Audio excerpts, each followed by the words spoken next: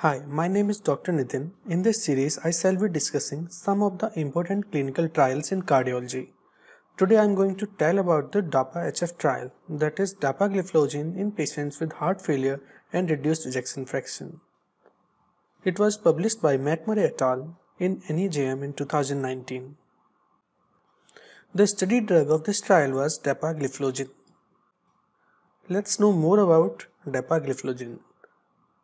It inhibits SGLT2 transporter proteins. SGLT2 transporter proteins are responsible for at least 90% of glucose reabsorption in the kidney. Hence, blocking this transporter mechanism causes more blood glucose to be eliminated through the urine. In clinical trials, dapagliflozin lowered HbA1c by 0.6 versus placebo when it was added to metformin. It is used to improve glycemic control in patients with type 2 diabetes. It also reduced the risk of hospitalization for heart failure among adults with type 2 diabetes and non-cardiovascular disease or other risk factors. Since dapagliflozin leads to heavy glycosuria, it can lead to rapid weight loss and tiredness. Another side effect is that the glucose acts as an osmotic diuretic. This effect is the cause of polyuria and diabetes and it can lead to dehydration.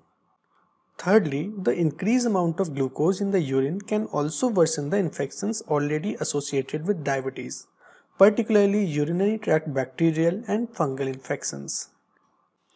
Before this trial, we already knew that in patients with type 2 diabetes, inhibitors of SGLT2 transporter proteins reduce the risk of hospitalization for heart failure. But more data are needed regarding the effects of SGLT2 protein inhibitors in patients with established heart failure with a reduced ejection fraction, regardless of the presence or absence of type 2 diabetes. So the goal of this trial was to evaluate dapagliflozin, which is a SGLT2 inhibitor, and to compare it with placebo among patients with heart failure and reduced ejection fraction. This was a phase 3 placebo-controlled randomized trial. More than 4,500 patients with NYHA class 2, 3 or 4 heart failure and ejection fraction of 40% or less were included. They received either dapagliflozin or placebo in addition to the recommended heart failure therapy. The dose of dapagliflozin was 10 mg per day the primary outcome was a composite of worsening heart failure event leading to hospitalization or cardiovascular death. The patients included in this trial had symptomatic heart failure, left ventricular ejection fraction less than equal to 40%, NT-proBNP value of more than equal to 600 picogram per ml. However, if the patient was hospitalized for heart failure within last 12 months, then the cutoff value of NT-proBNP was taken as more than equal to 400 picogram per ml and if atrial fibrillation or flutter was present then the cutoff was more than 900 picogram per ml for the inclusion. Exclusion criteria were estimated GFR less than 30, symptomatic hypotension or systolic blood pressure less than 95 the other important point of this trial was that the patients with type 1 diabetes were not included, hence the results should not be extended to those patients. In short, it was a randomized placebo-controlled trial. Patients with heart failure with reduced ejection fraction, irrespective of diabetes status, were randomized to dapagliflozin 10 mg per day versus placebo.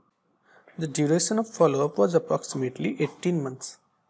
Other baseline characteristics were that mean age of the recruited patients was 66 years, females were 24% and diabetics were 42% in this trial. Coming to the results now, dapagliflozin reduced the primary outcomes significantly compared to placebo. The primary outcome of cardiovascular death, hospitalization for heart failure or urgent heart failure visit occurred in 16.3% of dapagliflozin group compared with 21.2% of the placebo group. The hazard ratio was 0.74 and the p-value was less than 0.001. The benefit was similar in all pre-specified subgroups including according to the diabetes status. Talking about the secondary outcomes, the cardiovascular deaths and all-cause deaths were lesser with dapagliflozin. Worsening of the renal function was similar between dapagliflozin and placebo. Again, the secondary outcomes in patients with diabetes were similar to those in patients without diabetes. And most importantly, the frequency of adverse events related to volume depletion, renal dysfunction and hypoglycemia did not differ between treatment groups. Talking about some of the pre-specified subgroups. When results were stratified according to the age groups, the benefits were consistent in all the age strata.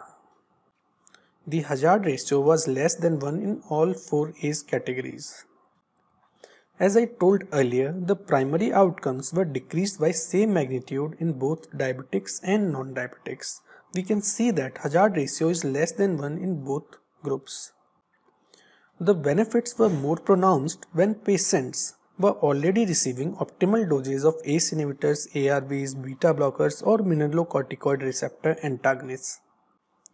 Dapagliflozin reduced both first-time event as well as recurrent events with same degree of magnitude. Concluding the findings, among patients with heart failure and reduced ejection fraction, the risk of worsening heart failure or death from cardiovascular causes was lower among those who received dapagliflozin than among those who received placebo. And it was regardless of the presence or absence of diabetes. Hence, DAPA-HF trials showed that dapagliflozin was superior to placebo at preventing cardiovascular deaths and heart failure events. The benefit was consistent across the age spectrum in diabetics, non-diabetics, across the range of baseline health status and baseline medication use. There was no sign of adverse safety events.